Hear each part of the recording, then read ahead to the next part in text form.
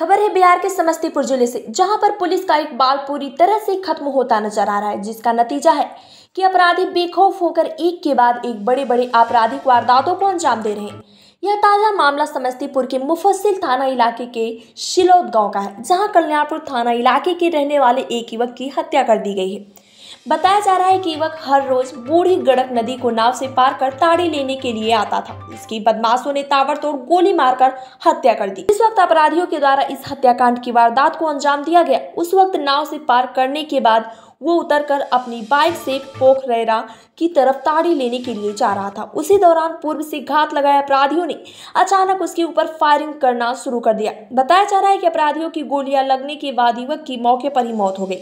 गोलियों की आवाज़ सुनकर आसपास के लोग जब तक मौके पर पहुँचते, तब तक अपराधी वारदात को अंजाम देकर मौके से फरार हो बताया जा रहा है कि मृतक के स्वजनों ने शो की शिनाख्त की और ग्रामीण की सूचना पर दल बल के साथ पहुँचे मुफस्सिल थाना अध्यक्ष प्रवीण मिश्रा ने घटना स्थल का जायजा लिया।